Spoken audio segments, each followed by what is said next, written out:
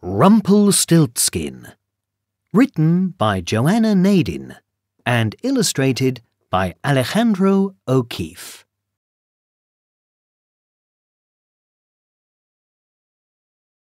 In the far off times, there lived a poor miller and his daughter, Lily.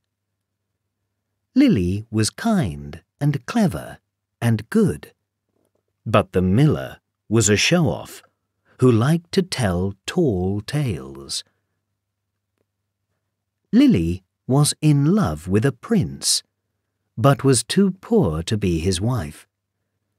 So the miller went to the king and boasted about his daughter.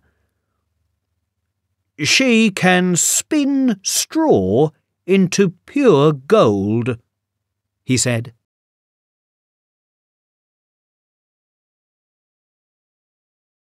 The king was delighted and summoned Lily to the castle. There he took her to a turret and showed her a bale of straw. Spin it into gold by morning, and you may marry my son, he said. Then he locked the door. But of course, Lily had no idea what to do and stamped her foot crossly. At this sound, a goblin appeared. Give me your necklace, and I will spin the straw into gold, he said. Lily's necklace had belonged to her mother, so she did not want to give it away. Yet she did want to marry the prince so she agreed. The goblin was as good as his word, and spun the straw into reels of gold. The king was pleased, but he was also greedy.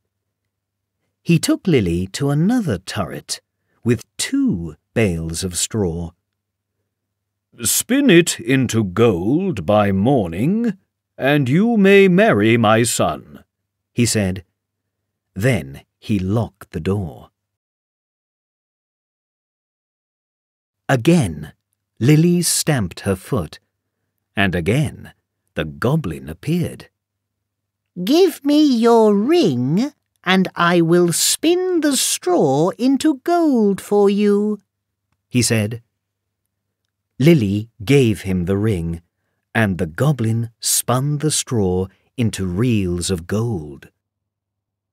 The king smiled when he saw the gold, but it made him greedier still. He took Lily to another turret with three bales of straw. Spin it into gold by morning, and you may marry my son, he said. Then he locked the door.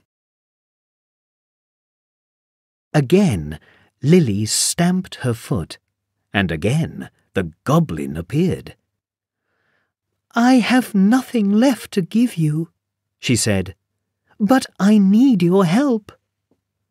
So the goblin thought and replied, Give me your first child, and I will spin the straw into gold. Lily who did not much care for babies, agreed, and the goblin spun the straw into reels of gold. This time, the king kept his word, and Lily married the prince. The years passed, and in her happiness, Lily forgot that she did not much care for babies. She and the prince had a little boy. They called him Tom. Lily also forgot her promise to the goblin. But the goblin did not forget. On Tom's first birthday, he came to the castle and said, Give me your baby.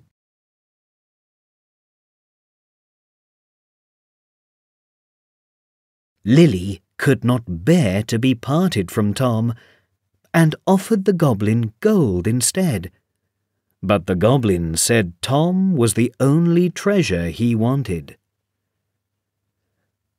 But, as I have told you, Lily was a clever girl. If I can guess your name, will you let me keep Tom? she said. I will give you three days, said the goblin, but you will not win. The child will be mine.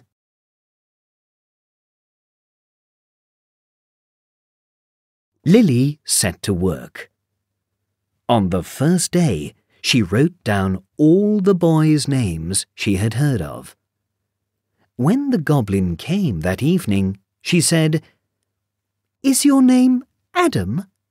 No, smiled the goblin. That is not my name. Is it Ahmed? asked Lily. No, smiled the goblin. That is not my name.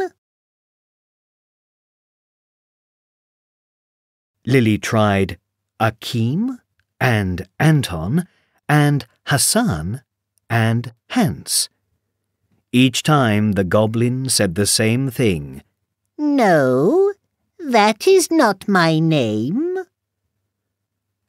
On the second day, Lily went to the castle library and wrote down all the boys' names she hadn't heard of.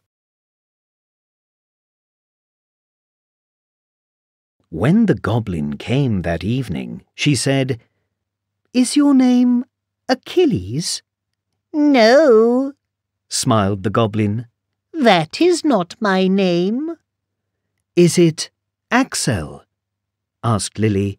No, smiled the goblin. That is not my name. Lily tried Kareem and Caspar and Santos and Solomon. Each time the goblin said the same thing. No, that is not my name. On the third day, Lily had run out of ideas, so she went for a long walk into town. She walked around the market, listening out for anyone with a different name. The only names she found in the market were ones she had already tried, like James, Jack, and Jonas. Lily had almost given up hope when she saw a market stall selling reels of thread. A little man was singing to himself as he stacked them in neat piles. He sang, My name's not John, my name's not Jim, my name is Rumpelstiltskin. Lily smiled, because she could see that the little man was the very same goblin who wanted to take Tom away.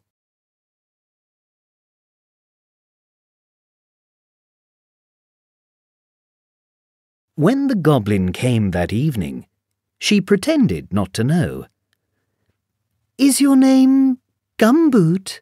she said. No, smiled the goblin. That is not my name. Is it Marmalade? asked Lily. No, smiled the goblin. That is not my name. Lily tried Slurp and Squelch and Mutton and Tintin, but each time the goblin said the same thing. No, that is not my name. Then Lily had one last guess.